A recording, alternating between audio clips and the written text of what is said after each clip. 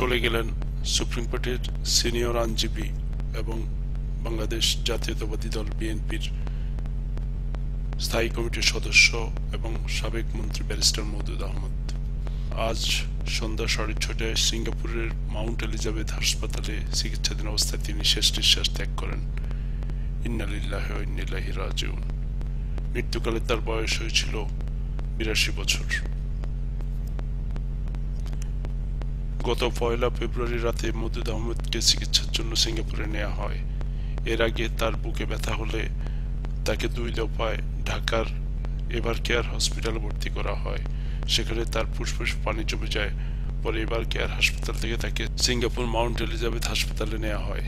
সিঙ্গাপুরে তার সাথে আছেন স্ত্রী হাসনা মদুদ, যিনি কবি জসিমুদ্দিনের মেয়ে। ব্যারিস্টার মওদুদ ছিলেন মুক্তিযুদ্ধের অন্যতম সংগঠক। তিনি একজন খ্যাতনামা আইনজীবী এবং উঁচুমানের লেখক ছিলেন। মদুদ আহমেদ বিভিন্ন সময় রাষ্ট্রের গুরুত্বপূর্ণ দায়িত্ব পালন করেন। এর মধ্যে উল্লেখযোগ্য হল উপরাষ্ট্রপতি, প্রধানমন্ত্রী এবং মন্ত্রিপরিষদ সদস্য। তিনি আইনমন্ত্রী, প্রধানমন্ত্রী এবং উপরাষ্ট্রপতি ছিলেন। এরশাদ সরকারের উপরাষ্ট্রপতি ও প্রধানমন্ত্রী ছিলেন ব্যারিস্টার মওদুদ।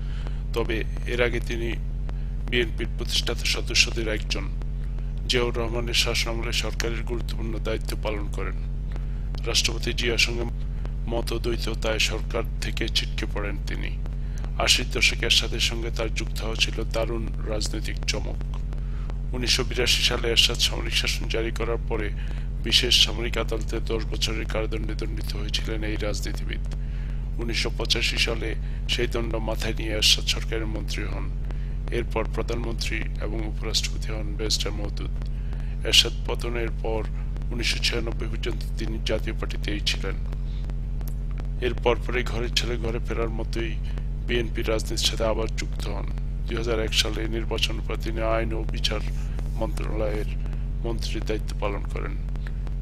বর্ণাঢ্য রাজনৈতিক জীবনের অধিকারী মওদুদ আহমেদ জাতীয় পার্টি এবং বিএনপি থেকে দুই প্রতীকেই নির্বাচন করেন। তিনি নোয়াখালী জেলা কোম্পানিগঞ্জ উপজেলা থেকে পাঁচবার সংসদ সদস্য নির্বাচিত হন। বিএনপির স্থায়ী কমিটির সদস্য ব্যারিস্টার মওদুদকে গত তিরিশে ডিসেম্বর হাসপাতালে ভর্তি করা হয়। এর আগে তার পরিবারের সদস্যরা জানিয়েছিলেন, আট থেকে দশ দিন ধরে তিনি অসুস্থতা বোধ করছিলেন। তার বাসায় চিকিৎসা চলছিল। এক পর্যায়ে তাকে হাসপাতালে ভর্তি করা হয়। পরীক্ষা নিরীক্ষা করে চিকিৎসকেরা জানান, তার শরীরের আভ্যন্তরীণ রক্তক্ষরণ হয়েছে এবং রক্তে হিমোগ্লোবিনের মাত্রা অনেক কমে গেছে এবং পরবর্তীতে তাকে সিসিউতে ভর্তির পরামর্শ দেন। মদুদ আহমদ উনিশশো চল্লিশ সালে চব্বিশে মে নোয়াখালী জেলার কোম্পানিগঞ্জ উপজেলায় জন্মগ্রহণ করেন। তার পিতা মাওলানা মমতাজউদ্দিন আহমেদ এবং মা বেগম আম্বিয়া খাতুন ছয় ভাই বোনের মধ্যে মওদুদ আহমদ চতুর্থ। তিনি ঢাকা বিশ্ববিদ্যালয় থেকে স্নাতক পাশ করে লন্ডনের লিংস ইন থেকে ব্যারিস্টার অ্যাট ল ডিগ্রি অর্জন করেন। এরপর দেশে ফিরে হাইকোর্টে ওকালতি করেন। তিনি ব্লাইন্ড ভিজিটিং প্রফেসর হিসেবে জর্জ ওয়াশিংটন ইউনিভার্সিটিতেও কর্মরত ছিলেন। কর্মরত ছিলেন। উনিশশো একাত্তর সালের মুক্তিযুদ্ধে ব্যারিস্টার মওদুদ গুরুত্বপূর্ণ ভূমিকা পালন করেন। একাত্তর সালে ইয়াহিয়া খান আহত গোলটেবিল বৈঠকে তিনি বঙ্গবন্ধু শেখ মুজিবুর রহমানের সঙ্গে অংশগ্রহণ করেন। উনিশশো সাতাত্তর থেকে উনিশ সালে তিনি রাষ্ট্রপতি জিয়াউর রহমানের সরকারের মন্ত্রী উপদেষ্টা ছিলেন। উনিশশো উনআশি সালে তিনি প্রথম সংসদ সদস্য নির্বাচিত হন এবং তাকে উপপ্রধানমন্ত্রী করা হয়। উনিশশো পঁচাশি সালে এরশাদ আমলে নির্বাচনে মদুদ আহমদ আবার সংসদ সদস্য নির্বাচিত হন এবং সরকারের তথ্যমন্ত্রীর দায়িত্ব পান।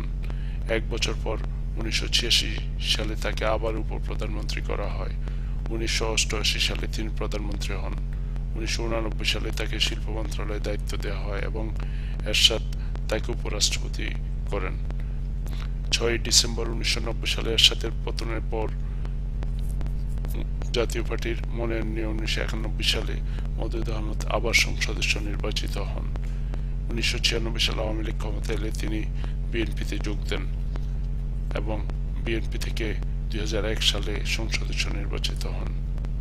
প্রিয় দর্শক, এই ছিল আমাদের আজকের উপস্থাপনা। আমরা ব্যারিস্টার মহদুদের আত্মার মাগফিরাত কামনা করি।